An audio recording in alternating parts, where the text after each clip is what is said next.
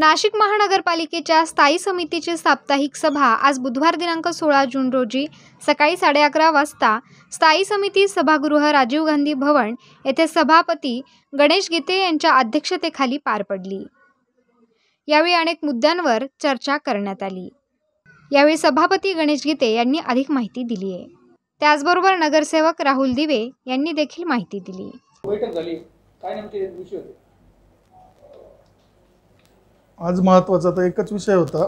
बिटको हॉस्पिटलच्या पाईपलाईनच्या कामाला आणि दुरुस्तीच्या कामाला कार्योत्तर मंजुरी देण्याचं कार्योत्तर मंजुरी दिलेली आहे. अहो एक झाकीर हुसेनमध्ये जी घटना घडली होती त्यामध्ये सदस्यांनी नाराजी व्यक्त केलेली आहे. काही लोकांना अजून देखील अद्याप मोबदला किंवा दिले दिले गेले नाही. त्यासाठी काय नेमकी आज चर्चा जे जे पाच लोक राहिलेले मोबदला देण्याचे त्यांच्या स्वतःच्या कुटुंबामध्ये वाद आहे त्यांचा त्यांचे वारस सिद्ध होत नाही त्यांचे वारस सिद्ध झाल्यानंतर आपण लगेच तात्काळ देऊ. त्याची आज डॉक्टर नागरगोजनना चौकशी करायला लावली. तीन लोकांचा यांच्या म्हणण्याप्रमाणे पंचवीस लोक आहे त्यांच्या म्हणण्याप्रमाणे बावीस लोक आहे तर त्याची पण आज चौकशी करायला लावली. पुढच्या मीटिंगमध्ये माहिती घेऊ. हॉस्पिटलच्या डॉक्टर काळे यांच्या संदर्भात पण आक्षेप घेण्यात आला. काय नेमकं नाही आता ती डॉक्टर ना नागरगोजनना सविस्तर माहिती मागवली आहे आणि त्यानंतर त्याच्यावर विचार करू काय कारवाई करायची. आपण शिवसेनेच्या वाटेला आहात, अशी चर्चा आहे. इच्छितो. या ठिकाणी माझ्या हातामध्ये दुसरं सुद्धा एक पत्र आहे. का त्या बिटको हॉस्पिटलच्या एका पेशंटनी दिलेलं आहे? मी त्या संदर्भात पहिल्यांदा आपल्याशी बोलतो. सभापती महोदय सुनील पगले नावाच्या एका पेशंटनी आपल्या नावाने एक अर्ज दिलेला आहे. सोबत त्यांनी सगळे केस पेपर जोडलेले आहे. तो पेशंट गेल्या सहा महिन्यापासून बिटको हॉस्पिटलमध्ये चक्रा मारतो ट्रीटमेंटसाठी.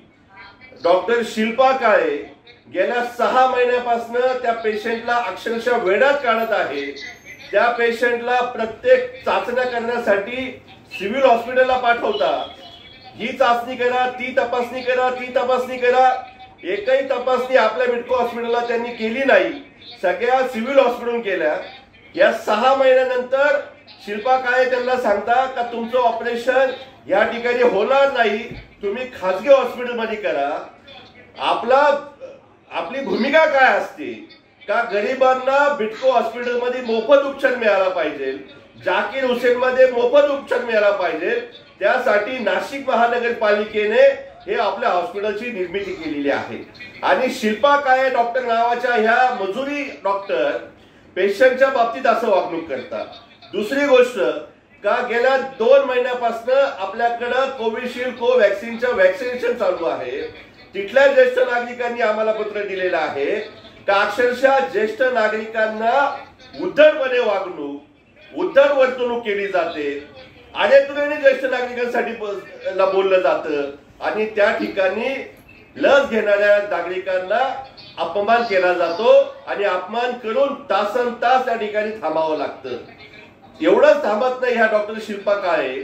तर त्यानंतर जे जे काय पेशंट त्या सर्जन आहे त्यांना प्रभारी चार्ज आहे. त्यांना साधा जर एक प्रश्न विचारला का तुम्ही सर्जन ज्या सर्जन तुम्ही जेव्हापासून बिटको हॉस्पिटलमध्ये आहात एक तरी त्यांनी ऑपरेशन केले आहे का? एक. बिटको हॉस्पिटलमध्ये सभापती महोदय प्रसूती गृहाशिवाय दुसरा कुठलाही विभाग चालू नाहीये हे या ठिकाणी दुर्दैवाने सांगावं लागत आहे. त्वचारोग तज्ज्ञ नाही डोळ्यांचा डॉक्टर नाही फिजिशियन नाही सर्जन आहे तर तो ऑपरेशन करत नाही. इतकी भयानक परिस्थिती या बिटको हॉस्पिटलमध्ये झालेली आहे. आणि म्हणून या निमित्तानं मी आयुक्त साहेबांना विनंती करेन डॉक्टर नागरगोजेंना विनंती करेन की आपण शिल्पा कायांची त्या ठिकाणाहून तात्काळ बदली करून त्यांची खऱ्या अर्थानं त्या ठिकाणी संपूर्ण त्यांची चौकशी केली पाहिजे. आणि त्यांनी ज्या ज्या पद्धतीने वर्तणूक केली काय ऑपरेशन केले हे लाखो रुपये आपण त्यांना पगार देतो. काम काय करता? तर काम शून्य आहे सभापती महोदय. आणि म्हणून याच्यावर तात्काळ कारवाई केली पाहिजे. मी दुसरा विषय तुम्हाला सांगतो. जाकीर हुसेनचा या ठिकाणी विषय आलेला आहे. आपल्या सगळ्यांना माहीत आहे संपूर्ण नाशिक शहराने बघितलं. का त्या ठिकाणी टाकीचा ब्लास्ट झाला. आणि त्या ठिकाणी एक नाही दोन नाही चौदा लोक आपले त्या ठिकाणी ऑक्सिजन विना मृत्यूमुखी पडले. आयुक्तांच्या कर्तव्यदक्षतेमुळे तात्काळ त्या ठिकाणी ऑक्सिजन आलं. व्हेंटिलेटरचे बाकीचे पेशंट वाचले. ऑक्सिजन असणारे बाकीचे पेशंट वाचले. परंतु हा प्रकार का झाला कसा झाला हे सुद्धा गुढ अद्याप सुद्धा गुढ सुद्धा गुलदस्त्यात आहे. आणि म्हणून याला वाचा फोडण्यासाठी मी आपल्याला या ठिकाणी निवेदन करेल की ज्या टेक्निशियननी त्या टाक्या लावल्या त्या टाक्यांची पाईपलाईन केली त्या मक्तेदाराचे हे काम किती आहे असा जर प्रश्न आपण त्या ठिकाणी विचारला तर तुम्हाला त्याचं उत्तर मिळेल का त्या मक्तेदाराचं त्याच्या आयुष्यातलं त्याच्या एजन्सीचं हे पहिलं काम होतं पहिली गोष्ट. दुसरी गोष्ट तो कुठल्या प्रकारचा त्याला तांत्रिकचा अनुभव नाहीये. त्या ठिकाणी जी पाईपलाईन लावली ती पाईपलाईन डॉक्टर तुम्ही सांगा मला या ठिकाणी ती पाईप नागरबाजूने सांगितलं तर एका मिनिटात खुलासा होईल. दुसरी गोष्ट अशी का साधं साधं लॉ लॉजिक आहे. सभापती महोदय तुम्ही सुद्धा नगरसेवक होण्याच्या अगोदर पाईपलाईनचे कामं केले असतील तुमच्या संस्थेने केले असतील.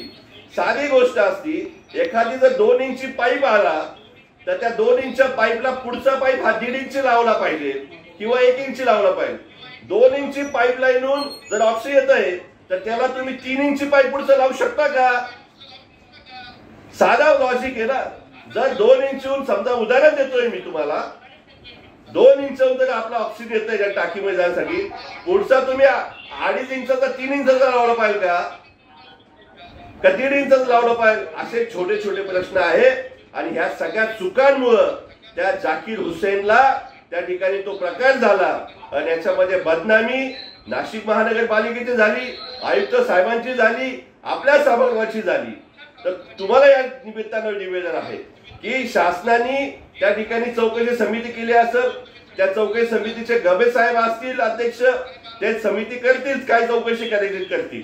परंतु त्या मतदारांनी ज्याने टाक्या लावल्या त्याच्या सुद्धा त्याची चौकशी कारण त्याचा अग्रीमेंट आपल्याशी आहे. त्याचा करारनामा आपण स्थायी समितीने केलेला आहे. तर त्या मक्तेदाराचे काय अनुभव आहे हे सगळे तपासले पाहिजे. आणि खरं मी सांगेल का त्या मृत झालेल्या सगळ्या व्यक्तींचा सदोष मनुष्यवादाचा गुन्हा त्या मक्तेदारावर केला पाहिजे. ही खऱ्या अर्थानं माझी आजच्या समोरावरील मागणी आहे. का आज माझ्या प्रभागामधला नगराय नावाचा एक मनुष्य आंबेडकर नगरला राहणारा त्या ठिकाणी त्याचा मृत झाला. एक पाच वर्षाची मुलगी आहे आणि एक चार वर्षाचा मुलगा आहे. आज विधवा बाई झालेली आहे. असे एक नाही चौदा कुटुंब उद्ध्वस्त झालेले आहेत आणि म्हणून त्या मक्तेदारावर खऱ्या अर्थानं सदोष मनुष्यवधाचा गुन्हा आज दाखल केला पाहिजे. आज आपण त्याच कामासाठी पुन्हा सतरा लाख रुपये कार्य उत्तर मंजूर देत आहोत. बिडको हॉस्पिटलसाठी आपण करोडो रुपये केले मंजूर कार्य उत्तर केले. करोनाचा प्रादुर्भाव आपल्यासमोर होता. आपल्या सगळ्यांना भीती होती का करोनाच्या काळामध्ये जास्त जास्त लोक कसे वाचतील हा प्रयत्न आपला झाला पाहिजे. आणि म्हणून आपण सगळे कामं कार्य उत्तर मंजूर करतो. परंतु कार्य उत्तर मंजूर करून सुद्धा अशा जर हलगर्जीपणा होत असतील तर मला असं वाटतं हे खपून घेतलं नाही पाहिजे.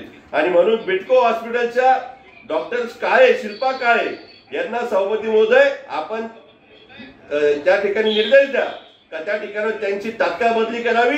आणि चांगले डॉक्टर आपल्याकडे चांगले डॉक्टर असतील. एक चांगले डॉक्टर नेमून त्या बिडको हॉस्पिटल जबाबदारी द्यावी आणि जाकीर हुसेनच्या टाकीचा हा कार्योत्तर विषय जो मंजूर करायचा असेल तर तुम्ही खुशाल मंजूर करा. त्याबद्दल माझं मत नाही.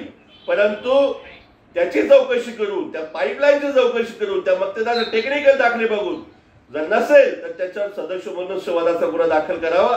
ही या निमित्तानं मागणी करतो थांबतो. धन्यवाद.